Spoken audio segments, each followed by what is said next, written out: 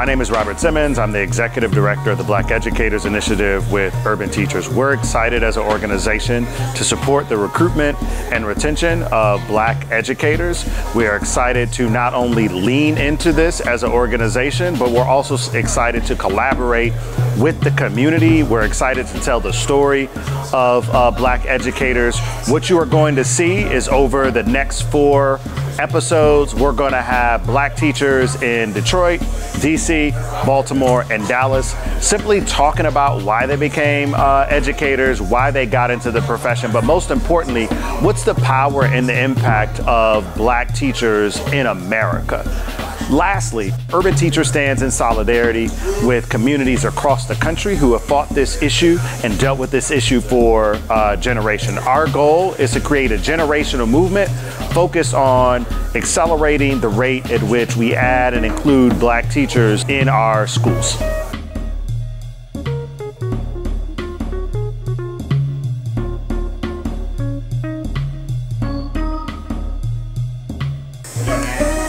So I'm Kelly Sullivan.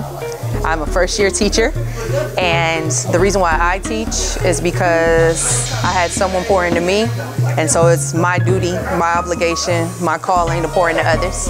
For me it's always one, those kids are me or were me. Um, and if it wasn't for my community, my tribe, where would I be? Um, to me, teaching isn't just uh, a job, right? It, it's a passion, but it's also it's a calling. And the impact of black teachers in America.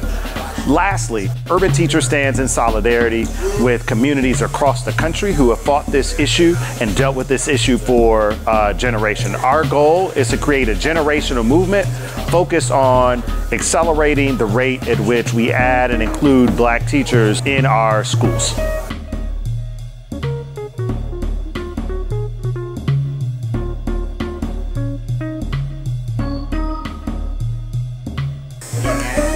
So I'm Kelly Sullivan. I'm a first year teacher and the reason why I teach is because I had someone pour into me and so it's my duty, my obligation, my calling to pour into others. For me it's always one, those kids are me or were me. Um, and if it wasn't for my community, my tribe, where would I be? Um, to me, teaching isn't just uh, a job, right? It, it's a passion, but it's also it's a calling. Hello, how you doing? My name is uh, Calvin Nellum, and I've been teaching for five years. Um, I teach because I want to be an advocate, inspiration, and a motivator for my people, and most importantly, you know, I just want to give back. The teacher has to be put on a pedestal like the Blake Griffin, like the Jay Z's, you know, and be seen like that person is the ultimate holder of knowledge and the person that is going to be the leader. Um, for some reason when I see like a entertainer and a sports athlete in the position of like a leader and they're giving like a speech and they're like talking, I'm like, I'm supposed to be up there. Like, I, you know, I went to school for six years and I studied quantum physics and you know what I'm saying? And all they gotta do is kick a ball and entertain and all of this, you know, um, and stuff you know and so when i'm in the classroom i have to like really let myself know that i'm not only an educator i'm a i'm someone that's inspirational i'm someone that's motivational if i'm coming with an empathetic mindset i'm like okay I have no idea, but I'm gonna give y'all the power, and y'all gonna mm-hmm. teach me how to teach y'all. Yeah, right. Yeah, you know what I'm saying? And voice. when once you recognize that power and you give them that power, now you just become instead of like a sage on the stage, you become a facilitator. My name is Candace Tarter. Um, I've been teaching for four years. Um, I went into education because I know that our students need to see a reflection of themselves, but just to be have somebody they can kind of culturally tap into. At this point in the field, you have to give a little bit of yourself mm -hmm. to your students in order to even be successful at what you do. Absolutely. Uh, my name is Terry Sanders. Uh, I go to Wayne State University, and I've been studying special education for the last five years. But coming from a college student, what we need to get the engineers to an education major is support. And I think that's where those situations come in where it's peer-to-peer -peer leadership growth inside the inside the school. Um, because right now, like I said, I'm a student athlete at Wayne State. I could be getting ready for the combine next year, but I'm getting ready for my classroom I'm gonna have. Yeah, um, that's beautiful. Yeah, yeah, you know what I mean. So like, it's just that passion that you have, like you said, for your students. And they have to understand, they have to feel that. They have to feel that impact at a young age. Like, Yeah. man, this guy next to me just changed my life and he's in my classroom. So my name is Michelle Davis, and I've been an educator for 25 years. Um, I think it's important for Black people to be in education because we have a, a awesome opportunity to impart the knowledge that people have imparted into us. It is incumbent upon us to to cure all of the ills that's happening in our community. And when you go into education, not only are you educating the students that's sitting in front of you, you really are leaving a legacy. And if if your primary uh, motivator is money, it's not the occupation, No. right? Any So- occupation. right? But but definitely this one. Absolutely. Right? So if your primary motivator is money, it's this is not for you.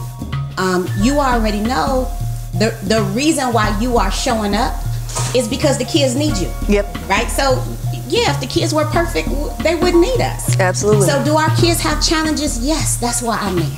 Yeah. You know what I'm saying? That's that's why I show up because they're bad. Right? They're, not, they're not bad, right? Mm-hmm. Right, They but have the- challenges. They right, need right, to be right. Coached through process, and and I'm the answer to that question. Yeah. So we we are the answer. So if, if they're like, oh well, you know, I don't want to do it because they're bad. Yeah, Then good okay, thing you're it's not doing for it. you.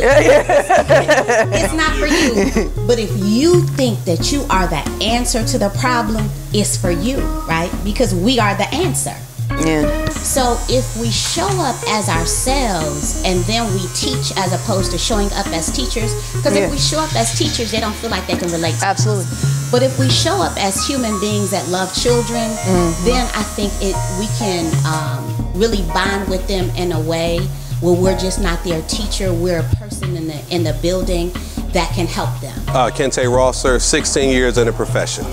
Uh, but for any kid of any nationality, I think that uh, cultural representation and diversity is essential to the profession. My name is Brian Ferguson Bey. I've been teaching 13 years.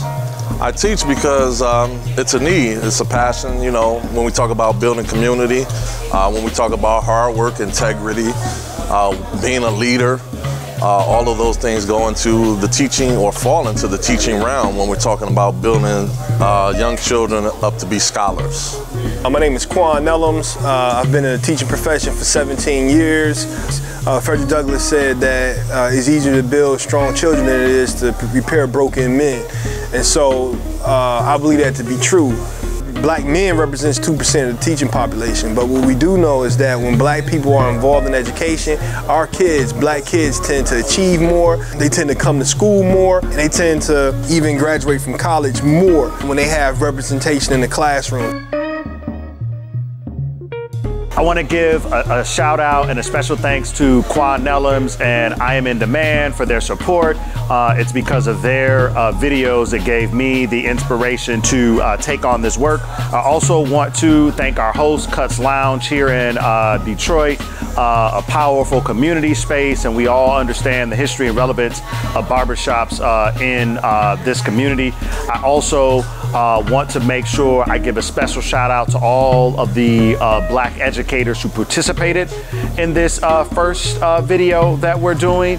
And I'm excited to thank Detroit for pouring so much into me as a native Detroiter. Shout out to uh, my first uh, mentor and principal, uh, Dr. Stanley Walden here in uh, Detroit.